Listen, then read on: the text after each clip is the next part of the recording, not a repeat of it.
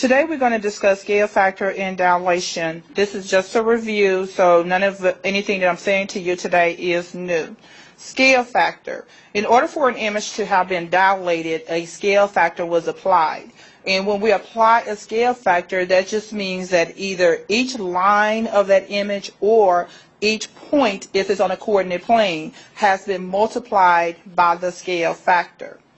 Now, if we're being asked to uh, find the scale factor, the opposite of multiplication is division. So the inverse operation of multiplication is division. So that just means we're going backwards and we need to create a division problem. So let's talk about finding the scale factor first.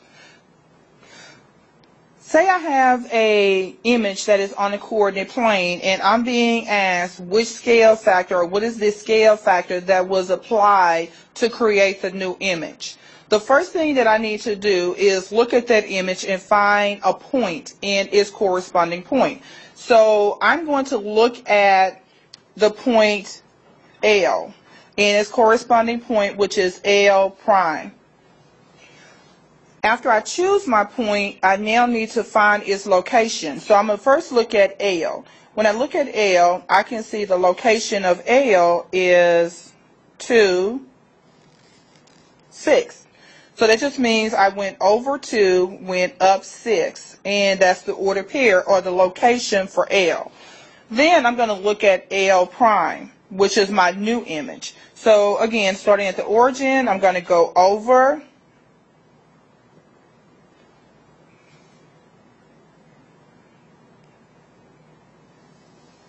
and up.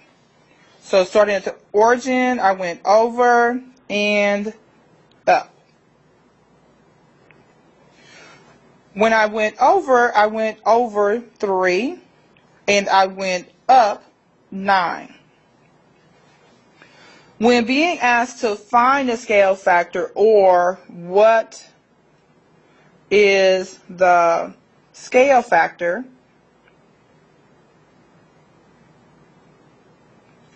I know my ratio is new image over old image. Remember, no.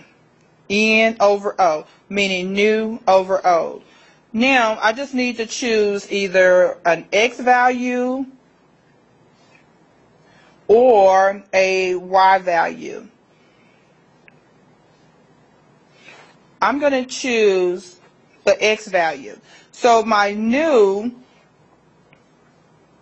X is 3. My old X is 2. I put it in its lowest form, which will be 1 and 1 half, or it could be 1.5. So 1 and 1 half or 1.5. And this makes sense because if my image gets bigger,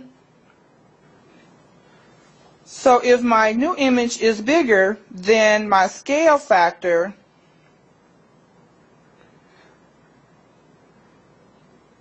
has to be bigger than 1. So my scale factor makes sense. So for that example, I use the X values.